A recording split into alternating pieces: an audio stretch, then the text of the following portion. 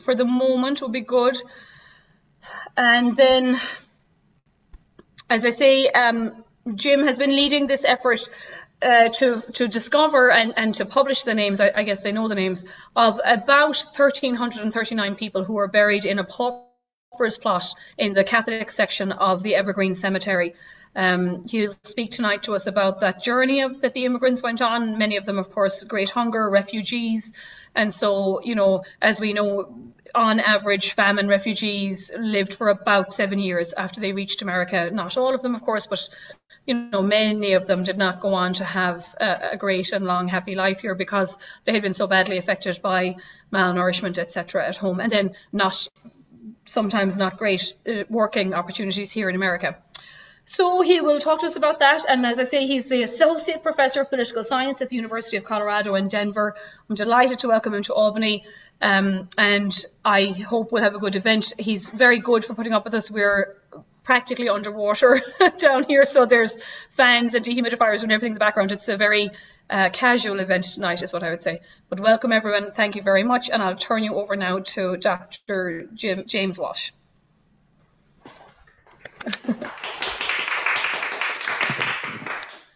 Thank you, Elizabeth, and thank you for putting this together on such short notice.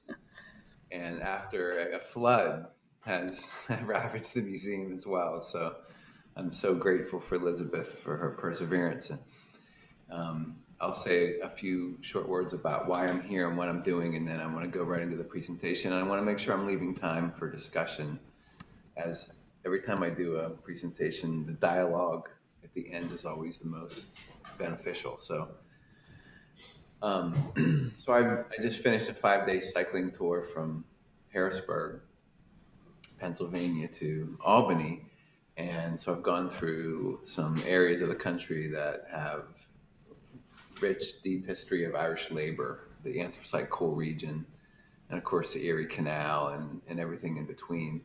And along the way, I've raised money for a memorial that's being worked on as we speak in a cemetery in the town of Leadville, Colorado.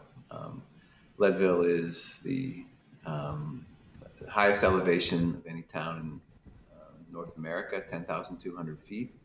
And it's the site of one of the largest silver rushes in North American history that happened beginning in about 1878 um, and, and really declining in the 1890s. And so um, Leadville had really the largest Irish community between the West Coast and the Midwest during the 1880s. And the percentage of Leadville that was Irish was close to 20%. So it was very heavily Irish town per capita and was also in terms of just sheer numbers. So this is a this is an important place um, for Irish American history in general. And but what I'll be talking about today is a little bit of that history, but really the memorial that's being worked on today as we speak. And, and um, if any of you are interested in contributing to the fundraiser, I, I need to somehow get you the link. Maybe um, we can post that somehow on the chat um, during the talk tonight. So anyway, thanks for being being here virtually, everyone. It's it's um, it's fun to be in Albany, and it's great to be at the Irish American Heritage Museum giving this talk. This is a thrill for me. um, okay, I'm going to share my screen, and then we'll, and then uh, I want to be sure that I finish around, you know, by eight o'clock, so that we have time to open this up and just have some dialogue and discussion. Um, by the way, I just want to make a quick note, Elizabeth, since you're watching. I've, I've had in the past issues where this my screen changes, but people watching, their screen does not with the slides. So if for some reason your, the slides aren't changing for you, please let me know. I will. Okay. Okay.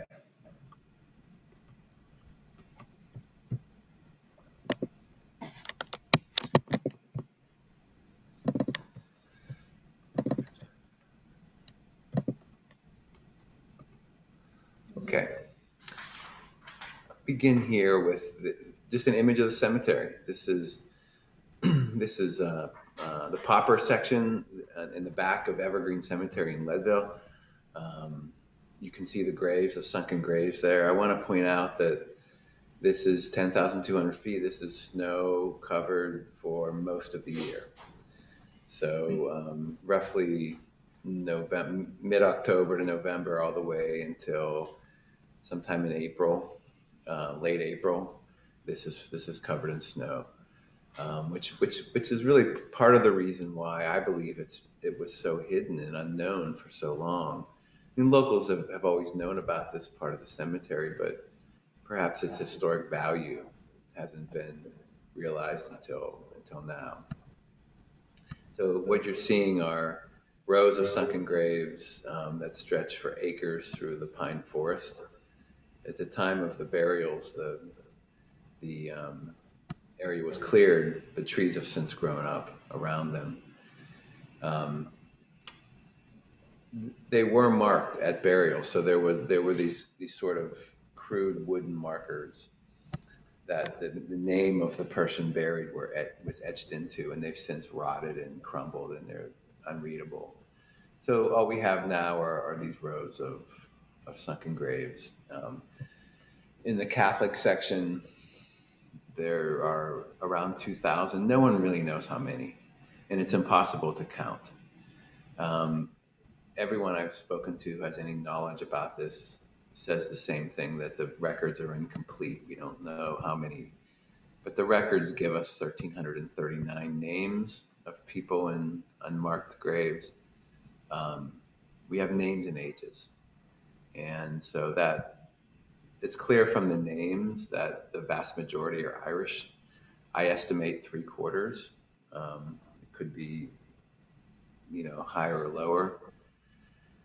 Um, most of them Irish immigrants, and the people buried here were buried between 1879 and about 1892. So that 13 year period is when these burials took place.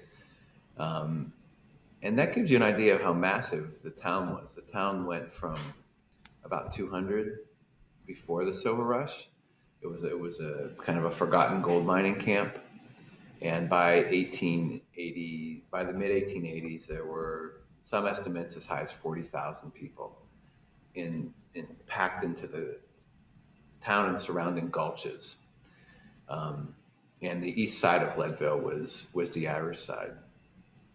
So this became um, a, a, destination for people traveling across the country. Um, uh, anyone with any sort of business with Irish nationalism causes or labor organizing made their way to Leadville.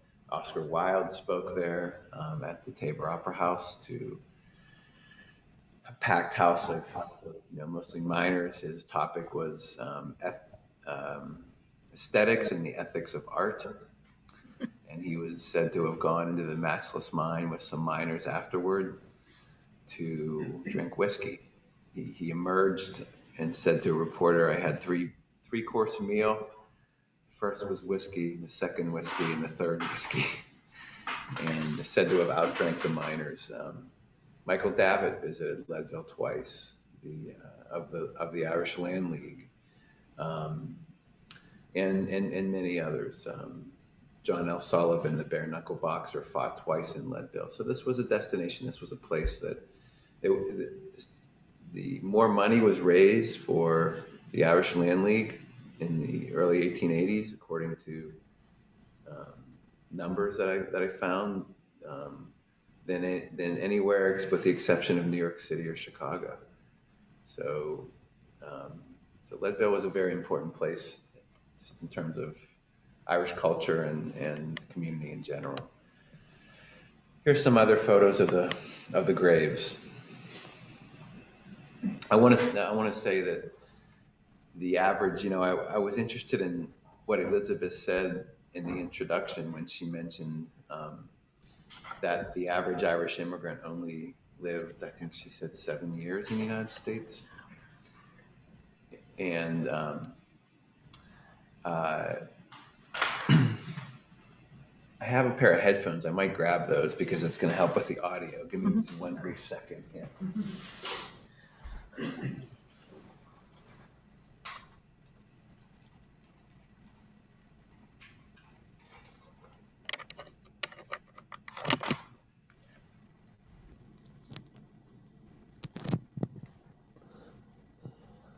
There, is that better, everyone? The audio better? Okay, great. Um, so the average age of the people buried in these unmarked graves is 22 or 23, and half of them are children.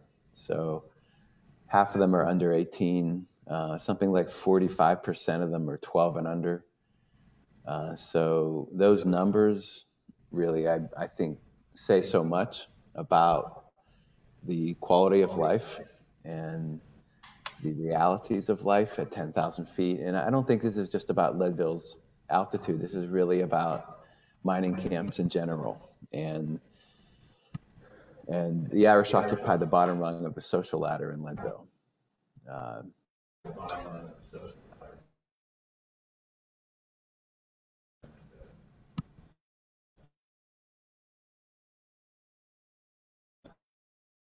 other photo. I have some folks here who can't see the images, so I'm trying, I'm trying to, to fill in the. okay. Oh, good. There are some markers. Some families have done the research and found their loved one, put a put a stone uh, sometime over the past century. And we we believe when the memorial goes in with the names and that we're going to see this accelerate and more and more stones. And this is, a, this is of course, what we want. We want the, the unnamed to be named. So um, this is, we expect that this, the whole terrain will change drastically with the memorial. Um, so I want to tell a story about the memorial. I'll continue to weave in the story of the Leadville Irish, the history of it. Um, so four years ago, a friend of mine contacted me and he said, You know that cemetery in Leadville, Jim? I said, Yeah. I said, The Irish government needs to know about this. we need to we need to let them know. They they, they need to be so I, I didn't think the Irish government would care much about a cemetery in Leadville. But he emailed the consular general and copied me on the email. It was one of those emails I did not want to be CC'd on because it was quite aggressive uh,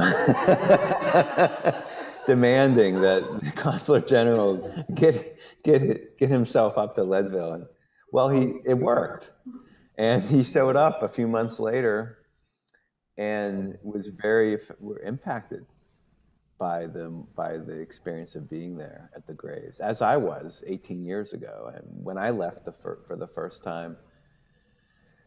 I, I just I left with a feeling that I had a responsibility that the the voices of the people, um, I, I, would I would um, do what I could to make those voices heard. So he was he was amazing, Adrian Farrell. I, I've, wherever you are, Adrian, thank you. He has done so much and um, set in motion a process whereby we've we've um, secured a couple of heritage grants from the Irish government. Two years ago, Irish Ambassador Mulhall visited, and he and his wife we were able to escort them through the graves. They were both very impacted as well. And so our greatest supporter has been the Irish government. Um, and I've learned a lot, you know, just about the importance of the diaspora within the Irish government, and, and that's that's meant a lot to me. You know, the what inspired me to do this work is is that I think I have 11 or so great, great, or two or three greats Irish ancestors who were famine refugees, and um, you know they they did railroad work, they did factory and mine work, domestic work, you know, the, the hardest jobs. And I, I, but I never knew that. I never knew anything about it. I just knew I was Irish. So when I became a graduate student, I started researching my own roots. And the more I found about um, that, their work and their labor and the hardships they faced, the more I felt like I, I was grounded. I knew who I was. And so when it came time to choose a dissertation topic, I started looking around in Colorado, and everything pointed toward toward uh, Leadville. Two of my great great grandparents were killed by trains when they were crossing train yards. they got crushed between cars. My um, one of them somehow held on for three days. My great grandfather was a brakeman on the train, and he was thrown off the train one day and nearly was crushed, was beneath the wheels. So um, industrial accidents and, and, and all of that was is is a big part of my own uh, ancestral history, and that's why I do this work. The Irish did the, the worst industrial labor. So I'd like to point to that cemetery and say the people buried there are victims of a different kind of war. Mm-hmm. They left a war of occupation and they joined a war of industrial labor. And, th- and we don't honor the victims of that war as much as we should.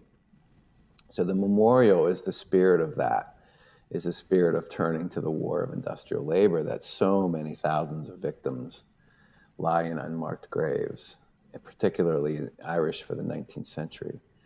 I think it's it, I think it, it has to be mentioned as well that we can't honor 19th century immigrants without honoring 21st century immigrants and using the stories of hardship from the 19th century to ask important questions about why immigrants today are, are treated in the way that they are and maybe find a little solidarity with this memorial. So this is an Irish memorial, but it's a, it's I think first a human rights memorial, and that's that's how I like to look at it and how I like to frame it. So anyway, this is a picture of the St. Patrick's practice parade. Uh, Elizabeth, are the slides changing? Okay. Yeah. they have this parade in September in Leadville. They have a parade in March, but you can imagine the ice and snow. so September is much nicer. They call it the, the practice parade and and they marched down Main Street. Well, well, they co- they they delayed the parade when Adrian Farrell was in town, to coincide with his visit. So they delayed the parade two weeks, so that he could. They, and it was a beautiful September day, and they put him in an old antique fire truck. And here he is. He didn't know what to do. He should I wave or what? he was treated as like a a, uh, it, was, it was as if a, a president of, a, of another nation was in town. Leadville, Leadville really, you know, rolled out the red carpet. And here we are in the cemetery. Um, we had a ceremony. We had some speeches. Um, someone hired a bagpiper and, and, they, and, they, sent them way deep into the forest, which was a really amazing noise, just a beautiful noise. Um, and uh, it was a beautiful day, just a beautiful, beautiful day for Leadville. Here's the uh, Adrian on the right in the green tie. Um, I'm still in touch with him. He's still doing what he can. And then the red tie is Ambassador Mulhall, who's been a, a, a great advocate for this project and really gets the spirit of it. I mean, this is this is not about celebrating the the Irish who have climbed the ladder and and, and, and found financial and polit- political success. This is really about turning the camera to those who who, who suffered the most and and as Elizabeth said, you know, the, the orphans of the famine who didn't live long in this country. And there, there's a lot of work now being done around intergenerational trauma of the, of the famine. And and uh, I've noticed in my trips to Ireland that it's not something that people are comfortable talking about even 150 years later. So I think this memorial will inspire more dialogue, more conversation about descendants and how, how this is still kind of embedded in, in, in, in the descendants of this, of this moment. So, and, and the rest of the folks are the people from the planning committee. The Irish Network of Colorado has been a, great champion of the of the project locally, and the guy in the yellow tie in the back is the mayor of Leadville.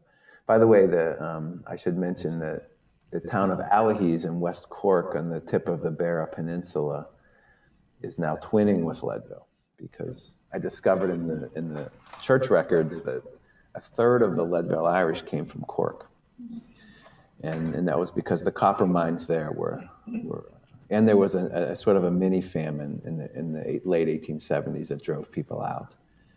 And many of them, hundreds, went to Butte and Leadville. I'm going to skip through some of this and go to. Um, I want to mention the labor movement in Leadville. Um, in 1880, 5,000 miners walked out of the silver mines in May. Right around this time, it was late May. Um, it wasn't spontaneous completely. They had been meeting and planning. They knew they knew an action was coming. They just didn't know exactly when. Their issues were they wanted to go from a 10 to an 8 hour day. They wanted a raise from $3 a day to $4 a day. They wanted better safety codes and they wanted the right to form a union. And so when they were given an order that they could no longer talk on the job, that was the straw that broke the camel's back. And that was the trigger that started the, the strike in motion. Um, they walked out of the, an all day walkout. They went from mine to mine. Many of these mines are named after Irish patriots. There's the O'Donovan Rossa, the Robert Emmet, and on and on. It took all day, but 5,000 miners then paraded down Main Street in silence. Um, and it was a declaration that, that they were, weren't going to put up with the conditions anymore. They appointed a young man named Michael Mooney, 28 years old, as the leader. He was from Dublin. Um, not a whole lot's known about his past, except he had been in the U.S. seven years, and he was deeply respected by the miners, and he was even respected by the company, um, who uh, knew him to be an honest, straight shooter and, and uh, a very tough guy. So he became the appointed leader. Um, the business community in Leadville rallied, used their leverage to convince the governor that this was a, a violent uprising. The Rocky Mountain News headline read, "The Molly Maguires have taken control of Colorado," in large letter letter type. So sensational news uh, he- headlines like that. After three, after after just a week, the governor declared martial law the mine, not a single act of violence had taken place. But the governor declared martial law, sent in um, hundreds of Colorado National Guards troops whose orders were to arrest striking miners on vagrancy laws and force them to work in chain gangs building roads. So Mooney went to went to Denver. He was he was under threat from vigilantes all over the Rocky Mountain West. Um, there were vigilante groups that were anti-Irish Catholic, similar to the American Protective Association. Um, and uh, they were threatening to lynch Mooney, so union members would surround his cabin every night to keep him safe. Well, he went to Denver to get donations from the um, from the workers in Denver, and he gave a big speech in downtown Denver. And and uh, the Denver police arrested him after the speech. But the next day he was released because they couldn't hold him. He hadn't committed a crime. Um, but the strike was a was a lost cause with the military occupation. Mooney um, was blacklisted. All the leadership was blacklisted. He stayed in Denver for, I'm sorry, in Leadville for a few more years. Um, married um, Sarah um, oh gosh, Gil Gallen from um, Scranton, Pennsylvania, um, the anthracite region. Her father was a coal miner from Sligo, and they had seven kids. Eventually, they they, they drifted west. They went to Seattle, and then he went ended up in Butte, copper miner for a while, and then Los Angeles. He lived two decades, his last years in Los Angeles, and that sort of embodies the Irish in the West, drifting, wandering, lost in hopes of a stable and fair existence. Um, so I, um, I, I, I, use Mooney's life as sort of a, a, a, microcosm of the Irish in the West in general. I've, even, I've even been to his uh, grave site, and um, so so uh, and um, I, I, gave this talk to a genealogy society once, and I, I mentioned how I'd be interested in meeting his descendants. And a woman came up to me and said, I'll find them. And she emailed me two days later with the name and number of Mooney's only living grandchild, 92 year old Marilyn Mooney. so I called her. and it took her a while to, um, to understand why this man she's speaking to knew everything about her grandfather. and and and then I sent her, you know, my writing, and and we're now friends. And but I, what I suspected was true. She didn't know a thing about her grandfather except that he was a miner, had no idea about the strike and what he had done. And I think that's an example of how there's a kind of ostracism that comes with doing something as bold as he did. Um, and he didn't want his children and grandchildren to feel like second class citizens that he was made to feel. So the oral, oral tradition wasn't shared, wasn't passed down. So the, the Mooney story is a fascinating story, and, and um, hoping to get Marilyn to the celebration we're having in September of the memorial. Here I am at the St. Patrick's Practice Parade on the right, dressed as Michael Mooney. oh, I didn't mention that I, have been I've been uh, dressing up as him for 15 years and giving monologues, historical monologues, in schools and churches and wherever will have me. I almost did it today, but I don't have my costume. this is the only photo ever I found in Butte, Montana, in the newspaper archive. The family doesn't even have a picture of him. This is the only photo of him that I've ever been able to find. And here's a picture of some striking Irish miners. They always wore ribbons one of the secret societies in Ireland was called the Ribbon Men. And so um, this just kind of gives you a visual of what, of what their parades, their marches must have looked like. Annunciation Church in Leadville, this is, they like to say, is the highest church in the Catholic order. um, built in 1880 by crumpled wages of miners. Um, Father Henry Robinson, um, Irish priest, started the church and also started Annunciation Church in Denver, which has the same exact architecture in northeast Denver. Um, you can see uh, the Mount Massive behind it, um, aptly named, and this is, gives you a little bit of an idea of what the, of what the space looks like, surrounded by 14,000 foot peaks. This is just a map to highlight how the east side of Leadville was was the Irish side, and especially Sixth Street. They called everyone on Sixth Street the Sixth Street Irish. Here's just a. I'm, I'm not going to give you too many graphs and charts. I don't want to go into a lot of detail, but this is. I wanted to. This is just a snapshot of the ethnic groups in 1880. Um, it's a little misleading given that the Canadians, so many of them are Irish Canadians. So they could have been in either column. And then the English are, are predominantly Cornish. So um, it's a, but other than that, you can see that this is really Northern and Western European. That, cha- that begins to change in the 1890s to Eastern and Southern European, but at this time it's overwhelmingly Northern and Western European. I'll say this too: the, the, the reason there's no Chinese listed is that the Chinese were banned from living in Leadville. They were they were banned. There was a ban on the Chinese, so um, there were a couple of um, of uh, stories from newspaper accounts of Chinese families trying to move, or Chinese miners trying to move into town or work the mines, and they were violently uh, driven away. So that's a, that, that's a part of the Leadville story that needs to be told as well. And the Irish contributed to that anti-Chinese sentiment as well. Um, I did a surname search, just compared the Beara Peninsula surnames to the Leadville surname, and found that they were really largely very similar.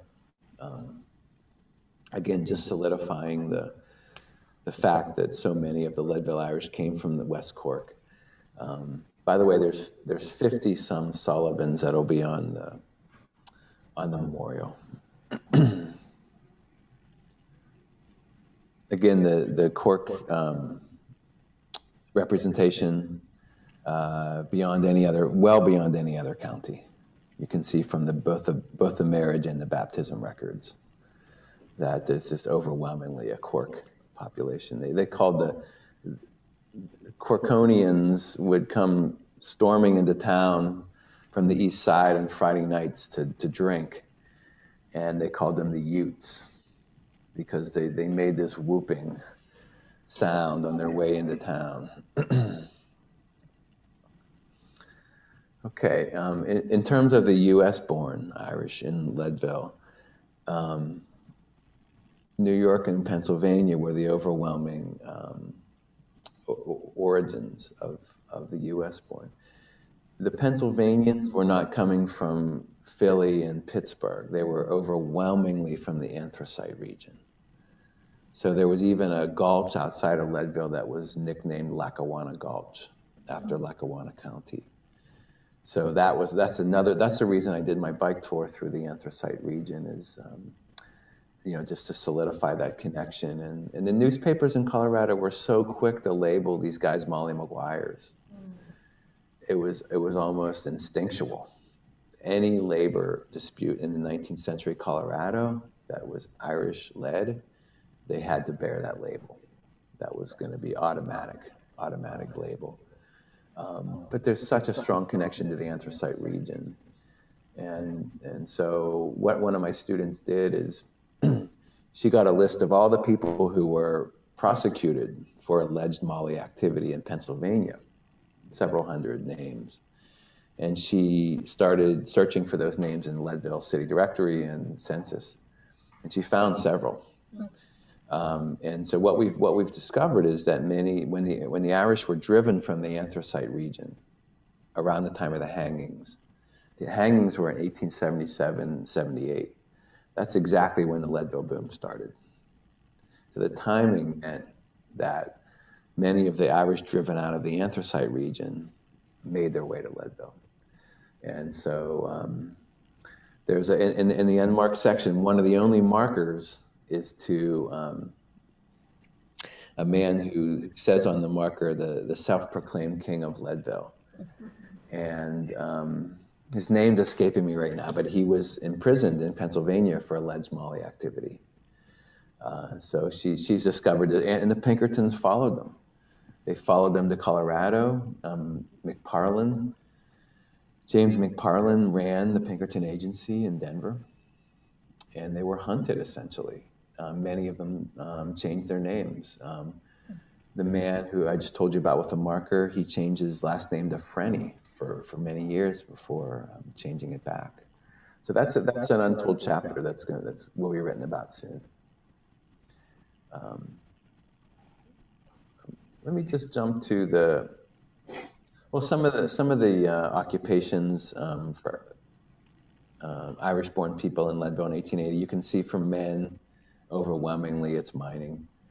There's not a lot of professional um, middle class positions going on here. And for women, it's um, domestic work, laundry work. So, uh, you know, this gives you a pretty. This is a this is a very very working class existence and community. Not a lot of professional activity going on in the Irish community at this time. Um, for for U.S. born Irish, there's a little, there's a slight difference. We begin to see the remnants of middle class professional. There's some clerks and engineers, and for women, there's some school teachers. So we begin to see the, the first glimpses of um, climbing the social ladder.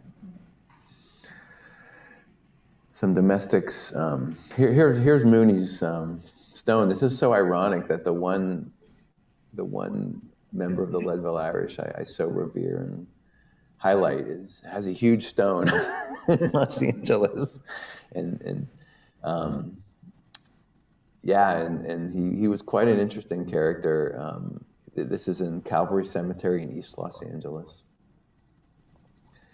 And he lost a son in Butte who was just two.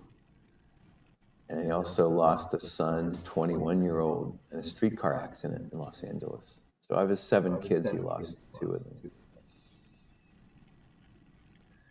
This is a map of just showing, pointing out where in Ireland they came from. Here's the Beara Peninsula. Allihies is at the tip of it out here. Some of them came from mining areas in Tipperary and Waterford and Mayo. Um, What's not on this map is a place called Cleator Moor, which was a mining area in northern England. And many of the Irish miners went first to Cleator Moor and from Cleator Moor to Leadville. And the reason that we know that is that there's a place in East Leadville called Cleator Moor Gulch. And in the and in the records, there's several dozen listed as being born in Cleator Moor. So there's so we can see these these networks of these migration networks of Irish mining families that um, like stepping stones. And another one of those um, places is um, up in the Adirondack area. You know, since since we're here in Albany, I, I should mention this. Up around Port Henry, um, I believe it was lead mines up there. I could be wrong. Um, many of the Leadville Irish were born in that area, uh, Irish Americans, and so there was a definite connection to those mining regions up there. Of course, the anthracite region, the copper mining in the Upper Peninsula of Michigan, uh, lead mining in southwestern Wisconsin. These are all areas where many of the Irish mined first before heading to Leadville. Uh, I, I, guess I'll, I'll, I'll, read this quickly. This is a speech Mooney gave. It gives you a, a little bit of a, a glimpse into the um, the mentality of the strike. So I'll, I'll start a few lines down. We demand an increase in our wages from three to four dollars per day and a reduction in our working hours from 10 to 8 hours. We think that we are acting right and that our demands are just. Every superintendent and foreman having agreed with us upon this point. Here we are today in a high altitude and living in the mines, breathing in the bad and stifling gases, with every danger of impairing our health and losing our lives. Not only this, gentlemen, but we have been denied the privilege of thinking and acting for ourselves into that which, as freemen, we are entitled to. Now we are told not to talk with each other while at work and are strictly ordered not to smoke. This is a small privilege, gentlemen, and God knows that living in continual candlelight is gloomy enough. Now we have just come to this conclusion that if they can pull the reins, we can pull tighter and we are determined to have our rights no matter what comes. We can't stand this oppression, and we declare it right here. The amount of ore taken by each man in a day is sufficient to pay the expense of the month, as they are working 10 hours. Fair play is all we want, and that we will have. I love that line. If they can pull the reins, we can pull tighter. I think that speaks to every form of oppression one can think of and resistance. Um, in this quote, this to me speaks to 21st century immigrant experience as well. I don't know that the whole American flag covers me, but I think I have a corner. and here's the Leadville Herald. The Molly Maguires must find a reservation outside of Colorado. Leadville drove the Chinese out, but admits Molly Maguires. The discrimination was a bad one.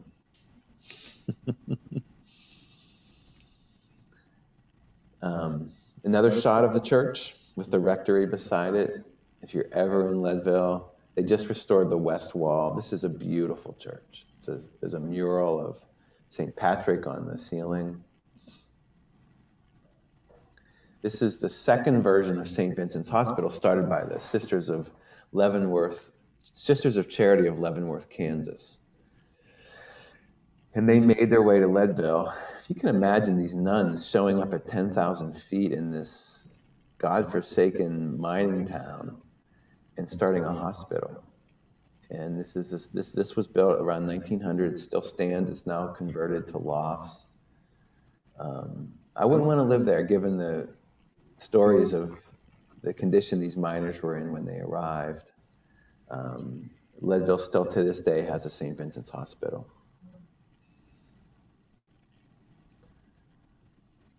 So my bike tour from Dublin to Allihies was incredible. Um, I was fine until I hit the hills of West Cork. and by the time I got to Allihies, I was ready for the stretcher. yeah, and they, but oh, but it, but it was as if I was in paradise. The sunlight, the, the ocean, the greenery. I just, I was, I was just stunned at the beauty. I was around. I, I couldn't believe it. And it was the solstice, summer solstice.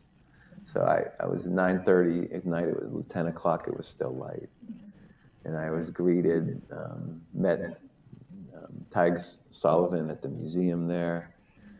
Um, you know, we, we, we agreed to work together on the twinning, and made my way to um, O'Neill's Pub. And I was supposed to meet two people at O'Neill's Pub, and then the whole pub paused, and I, I, I, presented to the whole pub, and then we started the singing. The singing went on for hours, from one one person to the next, um, singing songs of struggle and love, and it was beautiful. So, um, what's been really you know, uh, satisfying to me and fulfilling to me is to know that people both in Ireland and in the U.S. are, are very impacted by this work and see the value in this work. Um, you know, the, the people that we're honoring who were buried in those unmarked graves, um, most of them, their families never heard from. They, didn't, they don't know to this day what happened to them.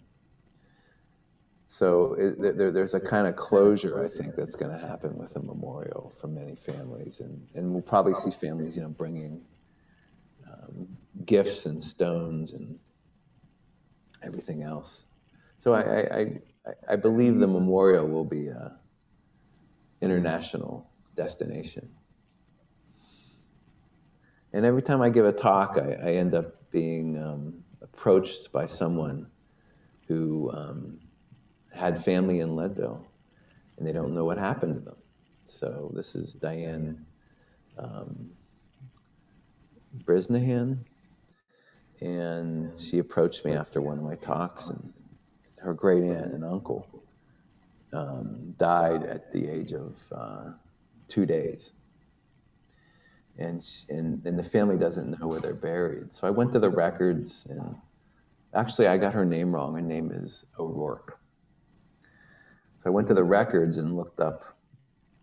Uh, there were no O'Rourke's, so I, I, was giving her the, the bad news, and then I thought, I've done enough genealogy to know to drop the O. so I, I went to the R's, and there they were in the records. Um, and uh, they, they were two days old.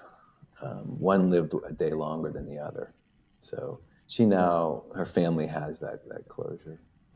I just continue to get emails about this. And that's been the that's been very satisfactory, although it takes a lot of my time. um, there'll be a statue in the center of the memorial of a, of a miner and a, um, harp. Surrounding the statue will be um, all the 1,339 names on glass walls. And um, a spiral walkway will lead to the top of the mound where the statue is. We did a um, well, once we identified where we wanted the memorial, we did a we hired someone to do a ground penetrating radar study. And, and and this was a part of the that didn't look disturbed at all. I mean, there weren't any apparent graves, or, but but he found about a dozen what he what he felt were were likely remains in that area. And so that told us that there's so many more that we don't know that aren't in the records, that were just makeshift. There were a lot of uh, just people who probably just took a, a, friend or a loved one out and dug a hole wherever they could, and they weren't done by the church. And so, so we had to move the memorial north to be certain that we weren't building over any graves. And it's been quite a quite a journey, quite an experience. Um, I'll stop there. I, I, think I covered everything that I wanted to mention. Um, I'll, I'll, say one last thing. Um, in 1896, 16 years later, the, the miners struck again. There was a second strike that happened, and this was this was the Western Federation of Miners. The first one was organized under the Knights of Labor.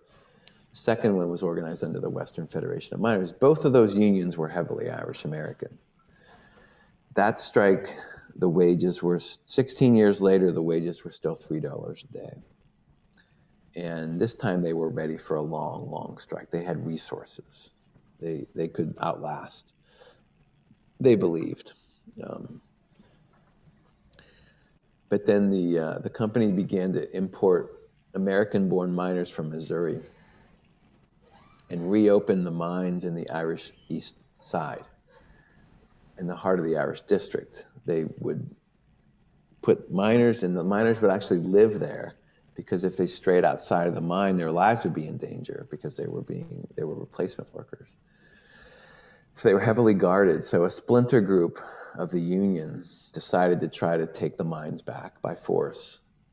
And in the middle of the night, um, in September of 1896, they attacked um, the Coronado mine. And they had built a homemade cannon that they perched on a ridge to shoot at the oil tank. It shot chains. and about 50 men were involved in this.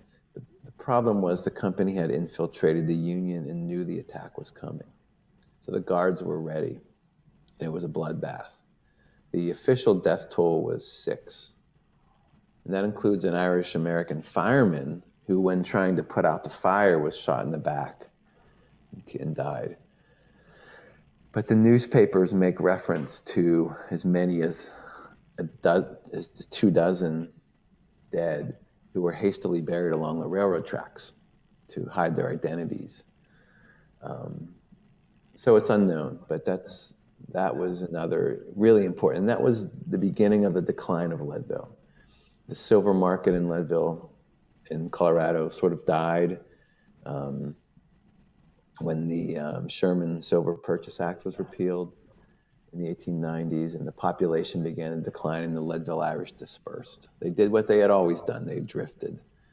Many of them went to Denver. That includes Molly Brown and her family. Um, the Catholic parishes in Denver saw this infiltration of Irish, Leadville Irish money and, and, and people. The cathedral in East Colfax in Denver was built largely by Leadville Irish money. Um, and many went to Cripple Creek and Victor, which was the site of one of the last hard rock mining booms in Colorado, became a heavily Irish boom. And many went up to Butte, Montana, which was a kind of a safe haven for Irish immigrants and miners at that time. And that's really the end of the, the the story of this incredible Irish community and, and, and what they brought to Colorado history and the effort to memorialize those buried in the cemetery. So I'm going to stop, and I, I really hope that we can talk to each other and have some dialogue and some conversation. Thanks so much, everyone, for contributing and being here with us tonight in this beautiful night in Albany along the Hudson River with my great, with my great friends Leslie and Matt, who have hosted me and and and, and took me off the the mean roads. That's great. And, and, and, another thank you to Elizabeth for on such short notice making this happen. So, okay. Thank you. Oh my God, that was I think amazing. Um, so many themes and topics raised. You know, it, it strikes me well, a lot struck me, but I, I, was thinking how different the Irish experience on the West Coast, you know, was. Um, and to see, you know, so many concentrated from Cork or Mayo and and the, the poor few little Kerry people trying to eke out an existence.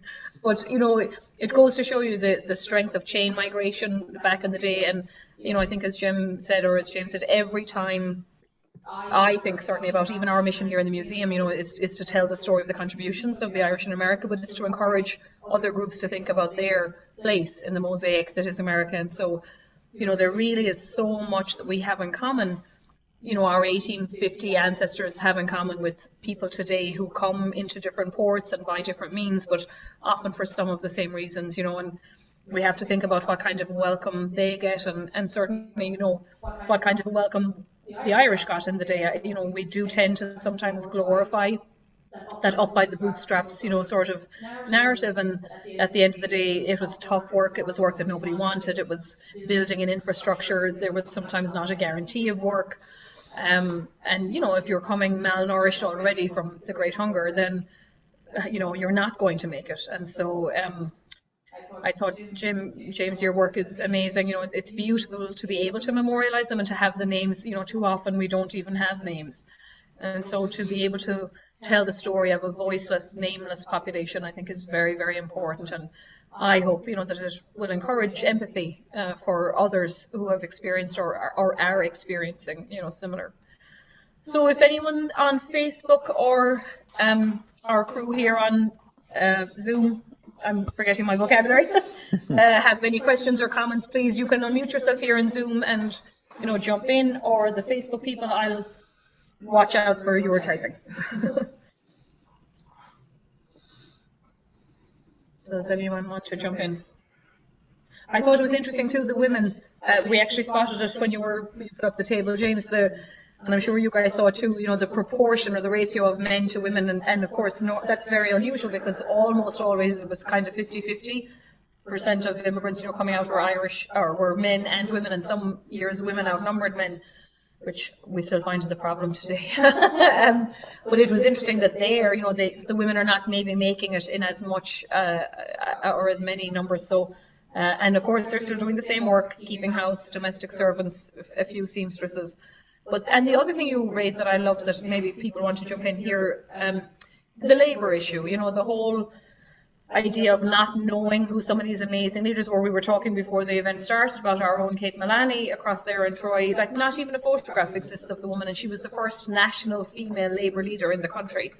You know, you'd think somebody would have had a photo of her somewhere, but and there probably is, but we don't know that that's her. You know, so um, it's amazing these kind of nameless lives, but they're really on the ground, changing changing lives. You know, um, and I, I thought what you said too about the reins quote was amazing because actually what it struck me was look at how much they were willing to suffer. Like you pull the reins tighter, but we'll just pull tighter. And so there, there was no giving up. Like there was no, and of course, you know, again, what were they coming from in Ireland? Had only prepared them. Yeah, I'll, I'll say something about that, um, Elizabeth, too. The um, the ratio of men to women was about four to one. In, in the surrounding gulches, it was more like ten to one. Yeah. And um, but I want to emphasize, you know, my, my, one issue with the memorial is I, I was pushing not to have um, an adult male miner as the statue because adult men are the minority of people buried in the cemetery. Um, and uh, one of the th- things that I did find is that women did not take a back seat in these strikes. Mm. Um, they were actually, in many ways, more out front in confronting the guards and the soldiers than the men were. And there was an incident where when the the soldiers would escort the replacement miners up to the mines, straight up Fifth Street in the heart of the, through the heart of the Irish neighborhood. And in one instance, um, Irish women went out and they they must have like formed a human chain. They blocked the road, and it was, and was sort of you know you're not getting through. So, um, according to a soldier's um, journal, these women hurled the most creative four letter words, profanities at these soldiers. We wouldn't know they, they had never heard before. They, they, they made the same word into a noun, a verb, and an adjective. it's a prayer in Ireland. yeah. And, and, and they didn't know what to do. The soldiers didn't know what to do. And, and it, it ended and it ended violently. One of the women was, was wounded by a bayonet. So I think I think it's important to, to kind of keep that in mind, the role that women played in these labor struggles. They didn't see this as, as their husbands and brothers and uncles fighting for wages. That they really saw this as their community. Yeah. You know, fighting fighting for survival. So that that's important to be to be pointed out. And and the, the, another question that we're, we're, we're really wrestling with is that not eight percent of the burials are listed in the records as stillborn. Mm. And so we're trying to wrap our heads around what that meant in the 19th century. We, we of course know what it means, but um, in a 19th century context, mm-hmm. what, what that meant. And behind the um, red light district of, of Leadville was an alley that was known as Stillborn Alley. Mm. And so um, we also know that there's a section of the unmarked section that's almost all stillborn, that they were buried separately from uh, family. So, um, so anyway, we're, we're not quite sure how to talk about that yet. Mm-hmm. So the, the, this cemetery is like lay, it's like the rings in a tree. Every week we get a new ring, and it, it speaks to us in new ways. Mm-hmm. You know, so I'll, I'll stop there. And, and, so we have some questions. Well, a comment first from Jeannie. She said she was so glad that she tuned in. She's originally from Scranton, Lackawanna County area, and she said her um, Lynn and Walsh relatives, or Welsh as we say, spent time in the mines in Scranton. And her great grandfather Lynn died in the mines, and the story goes that they just threw him on the porch. She moved to Colorado then about more than 35 years ago. She said she's so glad that this recognition and monument is happening in Leadville. And Jennifer asks, do you have specific family names from uh, Mineville? Maybe she means Leadville. From Leadville. Yeah. Oh yeah. Um, so the 1330, you know all yeah, those? Yeah, we have all the, we have we have 1339 names and mm-hmm. from the parish records. Yep. So then there are other ones that we don't know. Yeah. Yeah, we believe there's hundreds that aren't in the records. Okay, that's we'll never know those names. Yeah, yeah, yeah. And you know what you were saying, the babies in context of Irish Catholic tradition, it would make sense. God love them. You know, if they were if they died before being baptized, they were not buried with the main flock, you know, so right. you're in uh, limbo. Mm-hmm. Yes. Um, and then we had a question on Zoom. Hannah says, are there other sites in the US that you looked at to guide how this site would be memorialized? Great question. Other sites in the US besides Leadville? Mm-hmm.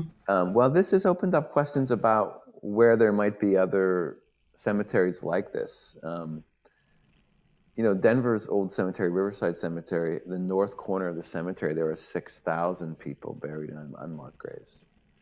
Th- those aren't sunken because the terrain and the soil's different. It just looks like a grass field. Um, and many, many, many of those are Irish immigrants. I've, I've taken a glance at the, at the surnames there. So um, mining camps, and you can imagine many of these mining camps are now ghost towns. Mm-hmm. And there are, there are likely um, cemeteries of unmarked graves that are completely unknown in, in the Rocky Mountains today that we're I'm trying to come, some of my students are working with me now. We're trying to identify some of those. Mm-hmm. So we think Leadville's the beginning, mm-hmm. and that what we're really talking about here is um, is the famine didn't end in Ireland. Mm-hmm. It it it made its way to North America through the, the, the people, the traumatized migrants who made their who survived and made their way here. And their remains are in many ways an extension of the famine. And, and we have to face that and come to terms with that. And that's, um, that, that, that, and I think it also sort of is remaking the narrative of the Irish in the West. There was this old narrative that the Irish, the farther west they went, the, the easier life became. Mm-hmm. Well, this cemetery flies in the face of that. so my, my colleague in San Francisco, James, James Patrick Walsh the Elder, we call him. I'm James Patrick Walsh the Younger. Um, he's written a lot about San Francisco Irish, yeah. and um, we always we, we talk about that a lot. So, and they're close knit communities. I, I did work with the group uh, a little bit in San Francisco, but also in Oregon, and like every single person in Oregon was from um, Duhallow, uh, like around the Kanturk Newmarket area in Cork. And it was the funniest thing, you know, I listened to these oral history testimonies that they had given in the 70s. So 1970s, you know, their people had left Ireland 100 years earlier. And one of the expressions they used was um, the interviewer was looking for someone, and, and the woman said, "Oh, he's gone down the town." And we would say that in Kerry, where I'm from, but also, you know, this is just over the border in Cork. So I thought it was so funny to hear such a colloquial Irish, you know, dialect in Oregon a hundred years later, you know. um, so they're, they're tight knit little communities, you know. Um, in terms of memorials, I was thinking I, we spoke very briefly, uh, James and I, on the phone about Duffy's Cut, which was a, a different kind of death, you know, and kind of a sort of a mass grave, uh, a, a, nameless, certainly grave of miners who possibly died in a, a, cholera or yellow fever, or possibly were killed by the town so they wouldn't pass on the disease. We're not sure. Um, and then the other one I actually forget what the I saw the design for the memorial and it looks beautiful. It's in I want to say Montreal or you know Quebec. It was to do with one of the um, famine uh, fever sheds. I think it might have been Montreal, and, and we did a whole series last year with our friends in um, Strokestown House. and they had just passed the design, you know, in the park, and it was a gorgeous way of, of memorialising the people. And the last one I'll mention about the famine is in, I think it's Sydney Harbour. The the women, the, the girls that were kind of shipped out to become, you know, wives to men in, in the penal colony at the time. These girls that were shipped out from their homes, they've put their names on glass, but they're etched to sort of fade and it's to show you, you know, these are sort of lost to time, even though we have the name. So there's loads of different, um, you know, designs that I think, and I like your idea of not having a, a male, no disrespect, to, because it isn't really a miner memorial. It's a, you know, yeah, it's a community. Mm-hmm. Uh, anyone else, Jack or Bob, have you anything to chime in with? Or on Facebook, I'm watching you, just in case anyone wants to type in a question there. I was just. Is thinking- there any evidence, yeah. uh, Jim, Jim, that the, the wages increased as these Oh, people hang on. gone to the west? Looks like you're muted, John.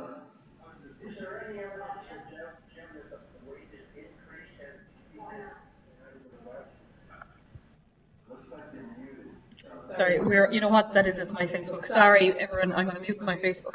I just don't know how to do it. Yeah. Okay, so say that again, Jack, was there any way of knowing what? Uh, was there any indication that these people moving on to other mining areas, uh, through their labor movements had, uh, effected, uh, an increase in wages? Uh, in Butte, yes, there there was because the Irish, some of the mines in Butte were Irish owned. The they they just had a better situation up there, and that's why one of the reasons Butte sustained through the 20th century. But but um, wherever they went, whatever mining camp they drifted to, they weren't going to find much much better situation. It was just a um, you know, it was a situation where they faced this kind of catch 22 where if they stood up for themselves and they organized and they fought, they would face these harsh consequences. If they didn't stand up for themselves and organize, they had to swallow their dignity and accept something that they knew was not fair. So um, I think that gets to that quote: "If they can pull the reins, we can pull tighter." It was almost like we'll go at, we'll do anything, we'll sacrifice our lives for this fight.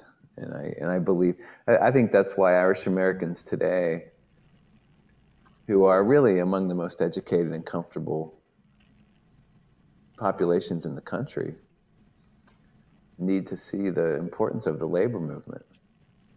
You know, this is the, the Irish immigrants were a backbone of the labor, early labor movement. Just uh, they, they had they had the um, you know they uh, they they had nothing to really lose by fighting. They, they they they had to fight.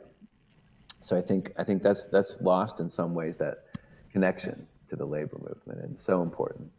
In fact, immigrant communities throughout American history have been the backbone of the labor movement. You know, Jewish immigrants, Italian immigrants, today um, immigrants from Mexico and Latin America, and are, are fighting and struggling. And so, I, I always emphasize to my students to see the see the labor movement is to see immigrant labor in in its many generations and from many parts of the world. So. So educating Irish American students about the labor movement is fun for me because often they they have no idea. know? and it's funny, you know, that Irish American students who who are you know heading to law school or medical school or whatever it is that their ambitions are. Well, it's only a couple of generations they have to go back before they find plumbers and construction workers and Maids. and, yeah, maids. And I mean, it's not far back they have to go to, to find those connections, but yet it's like a world away. And uh, and I think what this what we're doing here in this memorial for Irish Americans is we're is we're trying to ensure that that connection's not lost. You know, that connection between the, the privileged and the and, and the and the and the not privileged. So uh, the the visual of it does that. It really does. And Bob, did you have a question? It was more just of an observation. I thought that the, the slide with the sunken graves was just incredible. And just last weekend, our group, the Saratoga AOH, uh, was working to clear the first Catholic cemetery in Fulton County, New York, at the site of the first Catholic church. And there were some Irish there, was probably more German. There are about 90 graves that are out in the middle of the Adirondacks. Uh, you, you know, if you didn't know they, how to get there, you'd never find them. And it was interesting to see um, the last person actually interred there was uh, passed away in 1972. So that's the last time that there was really a working cemetery. So, but some most of the graves are from the mid 1850s to the 1870s. There's one in Elizabeth. It was a woman. It said County Montrose, which I don't know if that's one of the abandoned names of counties or merged names of counties, but yeah. that's what was on the stone. It said County Montrose, Ireland. Mm. Um, last name of Gibbons. And there's uh, a place called Mamtrasna, which is interesting in Mayo, Galway. It's on the border, I think. Uh, well, gee, I'm a historian, not a geographer, but I think that's where it is. Mamtrasna, you know. Yeah, um, it literally it literally yeah. says county, that, and I looked it up because I know that Ireland's merged some names or or merged some counties over the hundreds and hundreds of years. Yeah. But it was interesting to see that. The other thing that was interesting to see when uh, James, when you were talking about the the children, um, there's you know there's these little stones in many cases for children, and like they would put down the child's name four months and 78 days. That that's that's you know that's how long that they they had lived, and and I I probably saw a dozen of those, and then and the other thing, many of the graves were marked at one time, but the markers have been either destroyed or or just worn away over time. But I think it really gives you a feeling for what's there. And they dismantled the church um, and used most of the parts of it to rebuild it uh, uh, next town over. But they left um, a small shrine to St. Joseph, which was the name of the original parish. But yeah, I mean, I when I walked through there and when there was about 20 of us cutting trees down and mowing lawns and and trying to fix it up again. It's year two we're doing this and uh, you just just get a feeling of you know there, there needs to be honor here and everybody seems to have forgotten about it and, mm-hmm. and that's why when you put that slide up it just really hit me mm-hmm. and as you know james alluded to too in ireland uh, you know a lot of the famine graves around workhouses were empty kind of pits for a long time and uh, it's it is something that we are struggling with you know I guess, at home. And, and uh, again, you alluded to the there's psychosis involved, you know, because of the malnourishment. There's alcoholism and, and all kinds of mental health problems that really, like scientists, have traced back to the famine that have kind of come down through generations. So um, there's an awful lot to unpack, you know, which is unfortunate. But I think um, this is great work they're doing, and it's very heartening. I mean, we've been supported by the Irish government through that immigrant support program. Um, you know, as James said, they have an investment in the diaspora, you know, which both living and dead, which I think is very touching, really. You know, um, so it's great to see them support a project like this, and there probably many more coming. There will be many more. More come.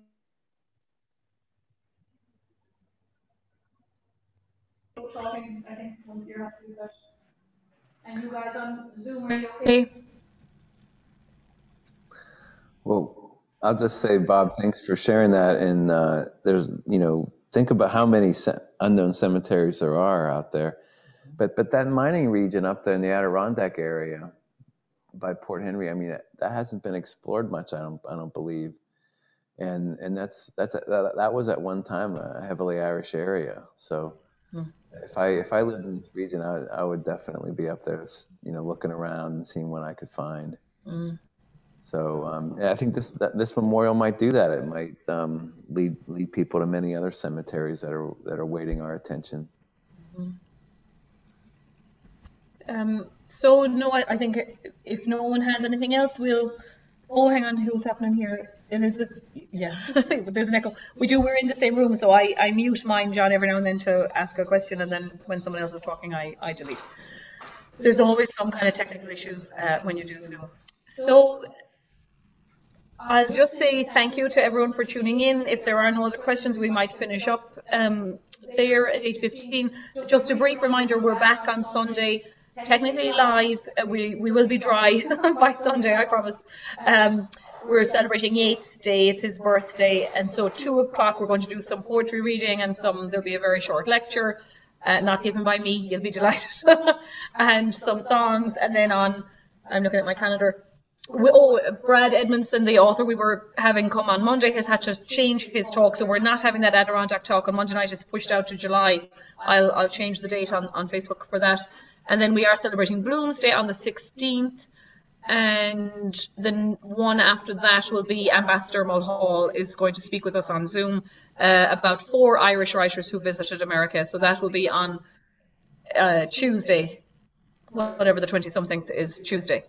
So they're, they'll all be Zoom. Uh, Bloomsday and Yeats are live and in person, but we'll also put them out on Facebook. So thank you everyone for tuning in. Absolutely delighted to have Dr. James Walsh. I'm so glad I got the call a couple of days ago. We weren't sure we'd be able to pull it off because the newsletter had already gone out, but thank God we were free Friday and he was free Friday, so it worked. And uh, a little water never stopped the Irish. So, so thank you all for tuning in. And um, if there's a book, we'll get it. We our copies came in today from whence I came. The, the talk we had on Tuesday night. And we have Republic of Shame, and now member Caelainn Hogan, the Irish journalist, talked about mother and baby homes. So our books are here. I'll, I'll ship them out to you all when when you order them. So thanks very much. Good night um, to you all. James, thank you very much, and our in-house audience who've been very quiet and well behaved. So thank you all, and have a lovely weekend. Take care.